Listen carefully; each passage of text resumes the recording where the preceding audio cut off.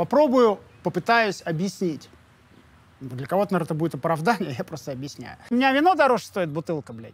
Круто! Я никого не хочу осуждать, потому что кто-то намеренно избегает, кому-то это неинтересно. Вот мне неинтересно. Блядь, я заплакал. Я реально прихерел. Я говорю, Миш, мне похуй. Я так чувствую. Сомнительно, ну, окей. Я не хочу с этим говном жить просто, я хочу забыть и все. Я сейчас боюсь что-то еще сказать в его поддержку, потому что ему потом там прилетит, блядь. Они, безусловно, ошиблись. Это было, скорее всего, бюрократическая просто спешка. Они меня всунули, не разобравшись, кто я есть. Я уважаю, что они делают, но как бы я, я не понимаю, это было не просто смело, это было пиздец как смело. Мне на него до сих пор, кстати, как-то не похер. И мое сердце будет за него болеть еще долго-долго-долго. Конечно, печально.